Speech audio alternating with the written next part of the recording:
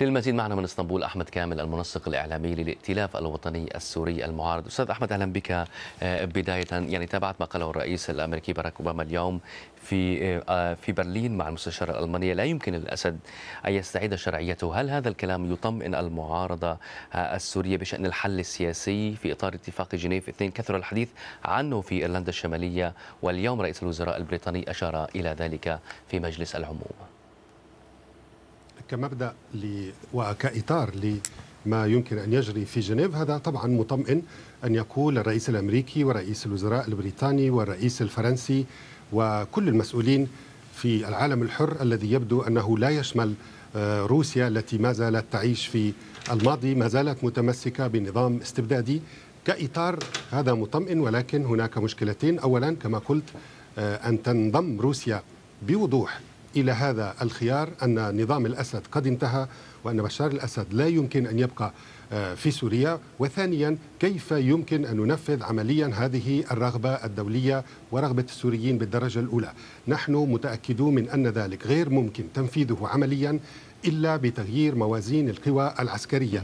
طالما أن النظام النظام مسموح له أن يفتح البلاد لغزو أجنبي وهذا يعني مؤسف جدا أن البيان الذي صدر عن قمة ثمانية لم يشر أبدا إلى الغزو الذي يقوم به حزب الله وإيران للأراضي السورية وأنهم لم يعتبروه حتى من ضمن الإرهاب. فإذا كإطار عام هذا مطمئن ولكن كيف ينفذ عمليا يجب أن يسلح الشعب السوري ويمكن من الدفاع عن نفسه لكي يمكن تطبيق هذا الإطار. طب في رأيك أستاذ أحمد الحديث عن الدعم العسكري والتغير للولايات المتحدة الأمريكية فيما يتعلق بتسليح المعارضة الموقف البريطاني حتى الآن يعني متردد بانتظار أن يحصل على موافقة البرلمان هنا.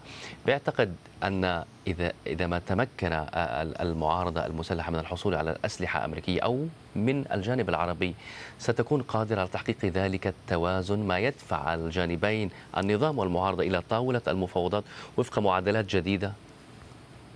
الجواب هو نعم بالتأكيد تسليح المعارضة السورية بأسلحة نوعية بمضادات الدروع وبمضادات الطائرات ونحن لا نحتاج لمئة دولة لكي تقوم بذلك.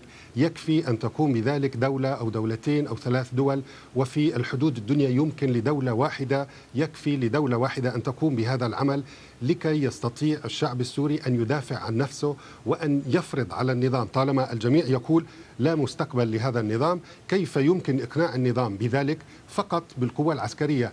يستحيل أن نتخيل أنه يمكن إقناع النظام بالرحيل أو رأس النظام بالرحيل بمفاوضات أو بمحاضرات أو حتى بكلام نعم. جميل يجب أن يفهم النظام ذلك بالقوة العسكرية طب أستاذ أحمد هل تشعرون بأن الإدارة الأمريكية غير معنية بأن تحقق المعارضة المسلحة نصرا بقدر أن يكون هناك توازن كما ذكرت يدفع النظام ويدفع المعارضة إلى المفاوضات؟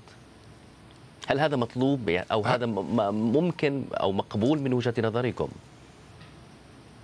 التجربة العملية أثبتت لنا أن هناك الكثير من الدول أو ما يكفي من الدول المستعدة لتقديم السلاح للشعب السوري للمعارضة السورية لكي يدافعوا عن الشعب السوري بمواجهة هذه المذبحة التي يتعرضون لها ولكنهم كانوا ممنوعين من الفيتو الأمريكي فما ما يمكن طلبه من الإدارة الأمريكية في الحد الأدنى أن ترفع الفيتو الذي تفرضه على دول أخرى لكي تسلح الشعب السوري وهو سيستطيع الدفاع عن نفسه. لا أحد على الإطلاق.